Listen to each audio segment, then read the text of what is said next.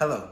For those of you who don't know me, my name is Eric, and today I will be discussing the biggest mistake that I made while trying to save was not creating a budget. Today, I will be introducing to you guys the budgeting method that I use while trying to save, which is the 50-30-20 budgeting rule. The 50-30-20 budgeting method is a method that you can use to try to help get your finances in order if you aren't already using a budgeting method. So to start off, you put 50% of your monthly income towards your needs.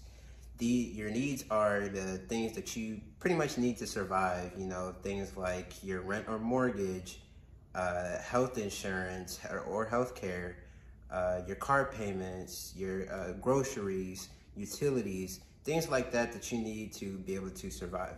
Then you take 30% of your monthly income and you put that towards your wants. Wants are all the things that you want that aren't necessarily essential or that you need to survive.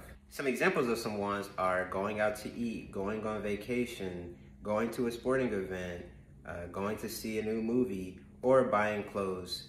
Basically, wants are things that you spend money on to make your life more entertaining and enjoyable. Now, the final 20% of your monthly income goes to your savings and investments. Uh, in your savings, you want to have at least six months to a year worth of savings in case uh, you lose your job or something, an unexpected event happens. You'll have that money to lean back on and use it until you get out of your situation or you find another job. Now, with the final 20%, you can either create an emergency fund, use that for, you know, a down payment on a house or a closing costs.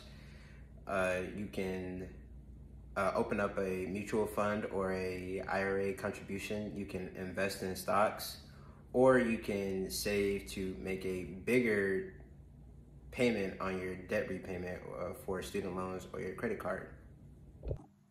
I hope this budgeting method will help you if you don't already have a budgeting method or you have a budgeting method that's not as effective as this one. Like I said, I use, I personally use this budgeting method and it has helped me out tremendously. I hope you found this video very useful. If you don't already have a budgeting method or you are looking for a new budgeting method, you should try this one out. Try it out for six months and see how it is.